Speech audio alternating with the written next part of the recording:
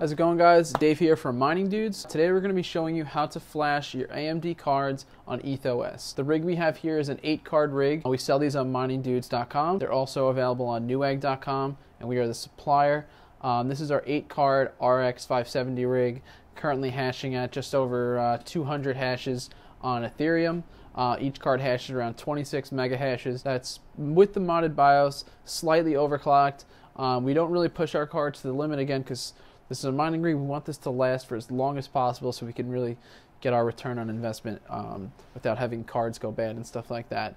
So let's jump into it. There's going to be a couple things you're going to need to need. We're going to work on a Windows computer as well, so you're going to need a Windows computer for this tutorial. We're going to be using the Anorak uh, modded BIOSes. So we're going to put the links, everything that you're going to need in the description below. So the first thing you're going to want to do is jump over to the website. You're going to go to your manufacturer, and you're going to download the ROM that's going to work for your card. So just going to browse quick to the Asus one that we're going to use. So we're using the Asus ROG Strix RX 570 ROMs.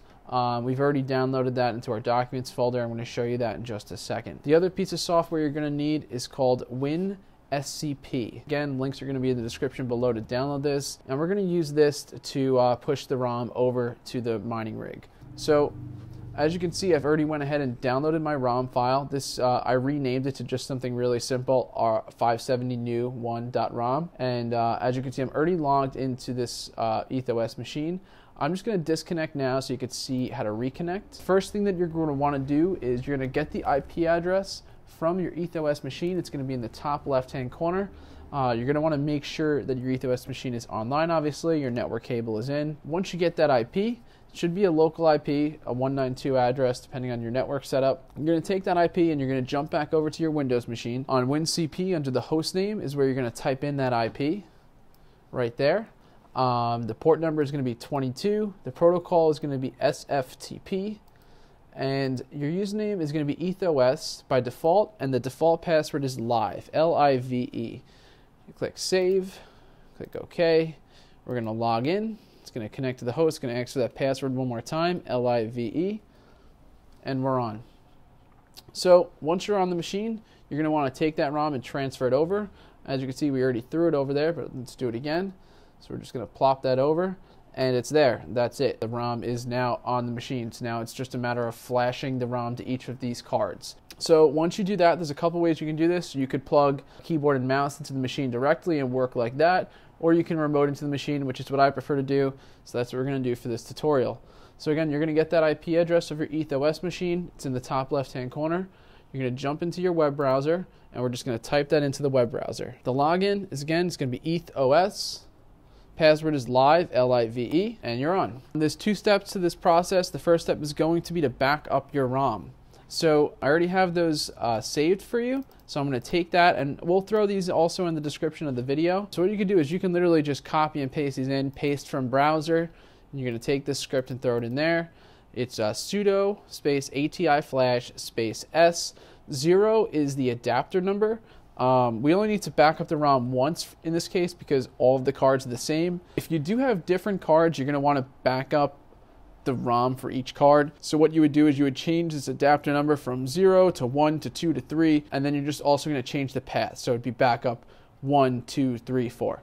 So we're just going to run this. So sudo ati flash dash s, just make sure the whole script is in there. I have seen it when you copy and paste from the browser that pieces of the script don't all go. Um, also, just noticed an issue. You're going to want to make sure that it's a lowercase s. Um, click enter and that's it. It's done. You can see it. It saved it. Um, and so now you're going to start flashing the cards themselves. So again, the script really isn't much different. I'm going to paste this from the browser again. So the script is sudo ati flash dash f dash p. Zero is the adapter.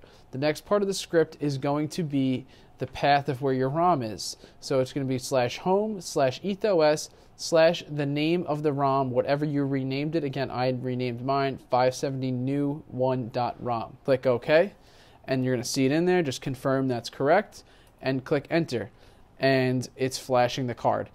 The first card is flashed that quick. So now to pull up that script again, you're just going to click the up arrow on your keyboard.